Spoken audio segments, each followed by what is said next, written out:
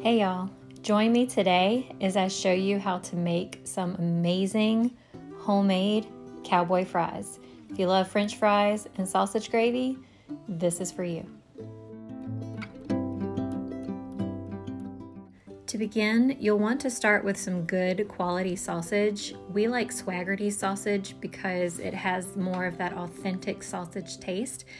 And so to begin, you're going to use four sausage patties and you're going to break up the sausage patties in a skillet. And I've got my skillet on medium heat.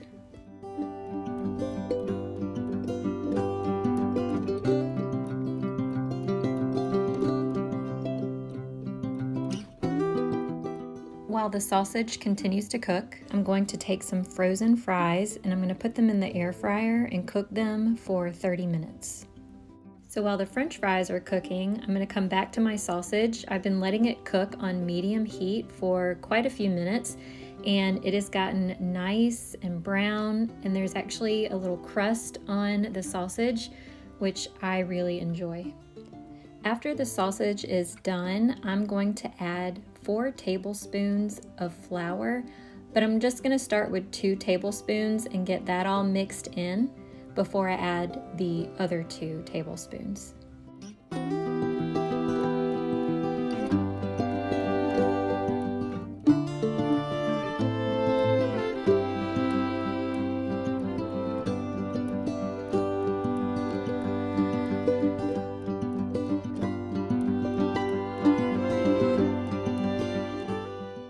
After you add the last two tablespoons, you want to give it a good stir because you want to get the sausage coated in the flour and then you're going to let it cook for a few more minutes just to cook that flour because you don't want a floury taste.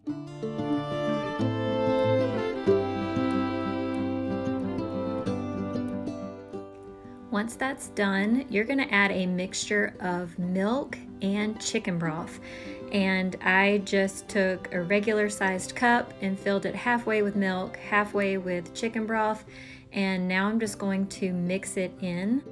You want to mix in the chicken broth and the milk slowly and just keep adding a little bit at a time until you get the right consistency. The more liquid you add, the thinner your gravy will be. The less liquid you add, the thicker your gravy will be.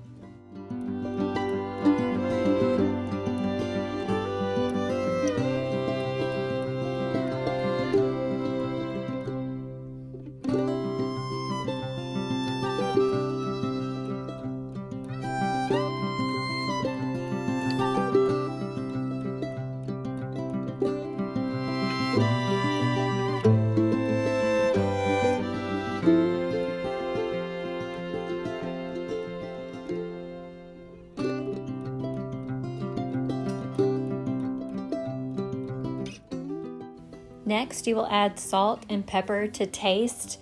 I recommend going easy on the salt because the chicken broth already has salt in it. Give everything a good stir. Now that my french fries are done, I'm gonna measure out three and a half ounces of fries. That's because I'm watching my calories, y'all, but even though I'm watching my calories, I still like to eat good.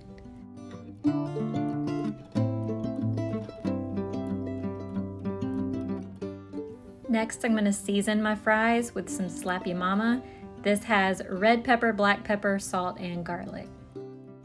Now for the showstopper. I'm going to add 100 grams of my homemade sausage gravy, and I'm just going to spoon it right on top. Now my gravy did come out thinner than I would have liked, but my daughter wanted to add the rest of the milk and chicken broth to the gravy, so, you know, why not? I can thicken the gravy up later if needed.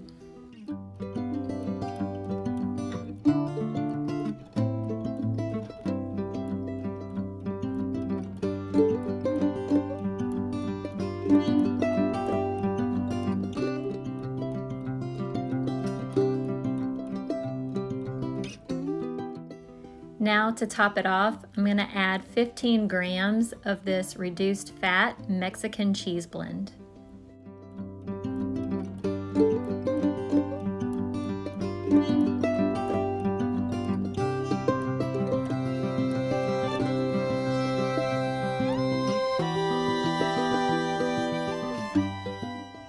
That's it, y'all. That's how you make cowboy fries. I hope you give it a try. And y'all, this is my new addiction, so I will be making this several more times. Thanks, y'all. See ya.